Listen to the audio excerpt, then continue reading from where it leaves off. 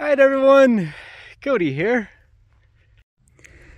So I cut out this one meter by one meter square of fiberboard here. I laid it on the ground and I got to thinking, besides a cat, what is above this square?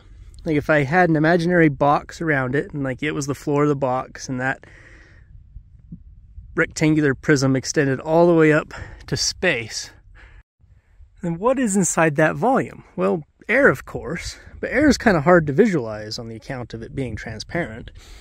So let's say I took all of the air that was inside that imaginary box and I condensed it down. I liquefied it to the density of water so that I can represent it as being water. How much water would I have to have to equal the amount of mass of air that's above every square meter at sea level? Well, this much. 10,300 liters of water is the equivalent mass of the air above a square meter at sea level. Like each of these intermediate bulk containers contains a thousand liters of water. I have 10 of them here. And that wasn't quite enough. I had to add another container with another 300 liters here at the end. That puts it into perspective. now, I'd love to have these stacked up on top of each other so you could see how high it is, but these containers, once I got more than like two or three of them stacked on top of each other, the weight of the water would just crush the bottom one. So I couldn't do that. Instead, you'll have to kind of shift your perspective and imagine this is a, a tower here on top of this square. That's 10 meters high. 30 feet or so. now, of course, you might have noticed I'm up here in the mountains. I'm not at sea level. In fact, I'm about two kilometers above sea level. So, where would I have to put this square to equal the amount of atmosphere that's actually above me, that's actually above the square right now? Well, right about here. So, two and a bit of these containers full of water is the amount of mass of air that is below me. Like if I dug a shaft all the way down to sea level, that was one square meter on the surface and two kilometers down. The amount of mass of air inside that shaft would be two and a bit of these containers here.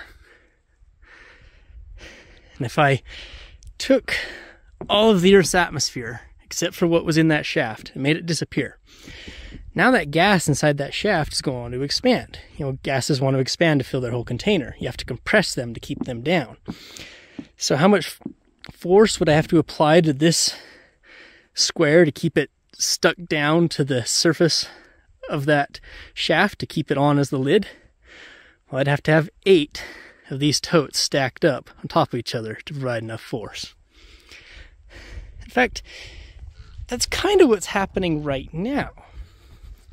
You see, the gas molecules that are here, they're colliding with the piece of material and they're bouncing off, colliding with other gas molecules and maybe coming back and colliding again, and that's putting force on the material. But that force is, of course, balanced by the force that is being applied by the gas molecules colliding with it on the other side. You know, these over here are experiencing the force that's applied by the weight of the atmosphere above. But these over here that are underneath, well, those are being supplied by the force of the atmosphere above. It's just being deflected off the ground and coming back, right? It's a fluid. It moves in and it can fill in and push up as well. And if this was a two kilometer shaft, the gas molecules that are right here next to the board, they don't know that. They're just colliding with other gas molecules. So whether it's two centimeters or two kilometers, it's virtually the same. The gas is able to compress in all directions, and also on the inside of the fibers, there's air in there as well pushing out. So there's no net force on this piece of material. Like I'm able to move it around freely, right? But if this was instead on top of a vacuum chamber, say that shaft was dug but not allowed to fill with air. Well, the air above would be pushing down, but there wouldn't have any gas molecules pushing back up. And so there would be a net force, which at this altitude would be the equivalent of eight tons of water on top pushing down on this one meter square here. If I was at sea level and this was on top of a vacuum chamber, there's no air inside of it, it'd be 10 tons of pressure pushing down on that square. Now, something else that's kind of mind blowing is if instead of a vertical shaft, if I had a horizontal one, one meter on each side, but 10 kilometers long, that way it could reach all the way down to my neighbors down there. So you can see their buildings. They're about 10 kilometers away. And at my altitude, the density of the air is about 80% of what it is at sea level. At sea level, it's 1.2 kilograms per cubic meter. Up here, it's about one, which is nice for the math. 10,000 cubic meters of air that I'm looking through to see my neighbors would weigh 10,000 kilograms, the equivalent of 10 of these totes full of water. I'm basically looking through 10 meters of water, equivalent mass, in order to see my neighbors. And to look into space, I'm only looking through eight cubic meters of water equivalent.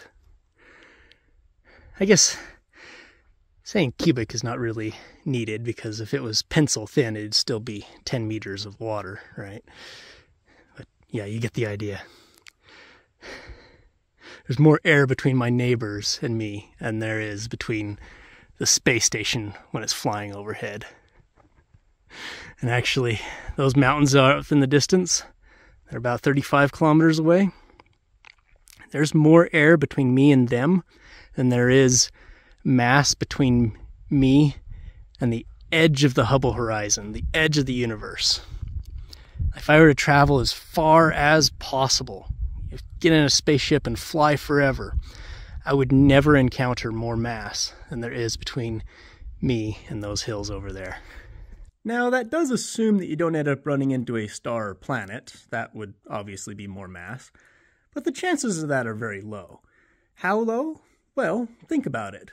If every possible path that your ship could take would intersect a star, every straight line of sight has a star in it, then the night sky would be as bright as the surface of a star. It would be as bright as the sun all over. This is not the case. In fact, most of the sky, an average patch the size of the sun, has around a trillionth the brightness. So the chances of running into a star are about that, one in a trillion. But how could that be? You know, that's such a short distance. And the edge of the universe is billions of light years away. Well, this column that's horizontal the air is at a constant density the whole way. The air that's going up vertical is a constantly decreasing density. Remember, just coming up two kilometers, I'm now above two of these totes worth of water. I'm above 20% of the atmosphere. If I go another two kilometers, I'd be above almost the same amount again. If I go to 15 kilometers of altitude, I would be above 90% of the atmosphere. There'd be nine of these totes below me, and only one equivalent mass above me. And if I go another 15 kilometers, then it'd be 90% again and again and again. Eventually, the air gets so low density because there's so little air above it compressing it that we just call that space. We just consider that to be a vacuum. But it never goes to fully zero. There's always a little bit of gas. Even as you go out into interplanetary space, you could find particles of the Earth's atmosphere there's just so few of them per volume that we just consider that to be zero. The amount that we lose from the sun blowing it away is tiny compared to the amount that we have, right? There's a lot of air here. If you lose a 100,000 tons a year, that's tiny. It's enough to last billions of years. And indeed, it's exactly what's happened. The atmosphere has been able to stay stable for billions of years just because the Earth's gravity is able to hold it down. Its own weight is compressing it down to the surface. If you think about it, something similar is happening inside of a vacuum cleaner. The impeller of a vacuum spins really fast, and the air inside of it is also rotated, and that creates artificial gravity, which throws the material out to the side with thousands of times the normal force of gravity. And so you can get the same amount of gas compression in a few centimeters as you would in a kilometer of height. In fact, when your vacuum cleaner is running, it's creating about the amount of suction equivalent to about one of these totes worth of air removed. It's able to make about one ton of force per square meter. Of course, it depends on the vacuum. I'm sure sun could go more. Theoretically, you could go up to 10 if you got a perfect vacuum created. Uh, speaking of never running out, well, I've got these here. I thought I'd also talk a little bit about the composition of the atmosphere. So, the atmosphere is about 78% nitrogen, so that'd be about eight of these full of nitrogen, and 21% oxygen, so about two full of oxygen. And the remainder of the carbon dioxide, water vapor, argon, neon, etc., would all fit in the last little bit. That means you've got two tons of oxygen over every square meter at sea level. And actually, the altitude I'm at, less than 5% of the Earth's surface is at this altitude or higher. So let's say it is two tons, you know, forget about the 0.1 because of parts of the Earth that are high altitude. There's two tons of oxygen per every square meter of the Earth. The Earth has a lot of square meters. And that's every square meter. That's ice caps, tundra, deserts, rainforests, oceans, all have two tons of oxygen over top of them. How much carbon do you have over top every square meter? Here, maybe a few grams worth of carbon. In the middle of a rainforest, you might have a ton or so. But over the oceans, especially the middle of the oceans, deserts, ice caps, tundra, that number might be near zero. And you remember the carbon cycle. Plants take carbon dioxide out of the atmosphere, they produce oxygen, they store the carbon in their bodies, and then when they're burned, that carbon dioxide can get released again, right? It consumes oxygen and releases carbon dioxide again. So for every ton of carbon, you need two tons of oxygen to burn it but you've got two tons of oxygen available for every square meter of the Earth's surface. You don't have that much carbon on every square meter of the Earth's surface. Even if you include fossil fuel deposits, it's still, you have a thousand times more oxygen than there is by mass burnable carbon. You could burn all of the carbon on Earth every fossil fuel deposit, every tree, every bug, every bit of algae. Burn it all. You consume oxygen to do it. And the amount of the oxygen would decrease would be the equivalent of a couple of liters per square meter. You would you wouldn't notice it. You'd notice the increase in carbon dioxide, sure, because that would be significant. It'd bring it from 400 parts per million up to whatever that would be maybe I see 1% is 10,000 parts per million. I'd probably increase it by another 1,000 parts per million or so, yeah. That'd be the equivalent of going inside of a normal house, the CO2 level increase. You could walk around on the surface of the earth after such an event and you wouldn't even notice. You could still breathe. There'd be plenty of oxygen. But how could that be? Like, where'd all that oxygen come from? You got the carbon cycle, right? it should it should balance. You should be making the same amount of oxygen as you'd be burning. Well, the thing is, atmospheric escape. Some gases are able to escape easier than others. Helium and hydrogen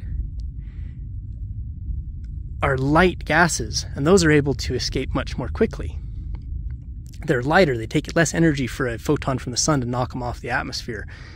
They expand more you take more altitude to get the same amount of pressure with those gases. So hydrogen is able to leave the Earth entirely just through normal escape. Oxygen sticks around though. Now, when algae is photosynthesizing and making oxygen, it's also making a little bit of hydrogen.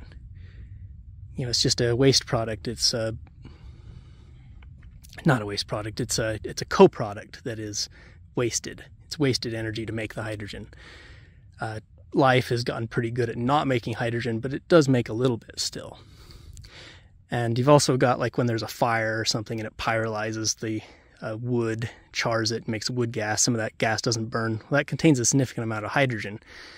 And all those sources of hydrogen over the eons have been leaving the earth, leaving the oxygen behind.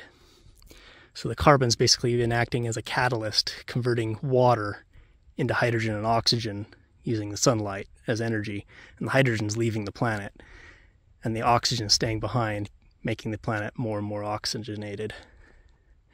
Our atmosphere is built up over billions of years. Well, at least a billion years. Since the great oxidation event when life forms started forming oxygen instead of being anaerobic. But uh,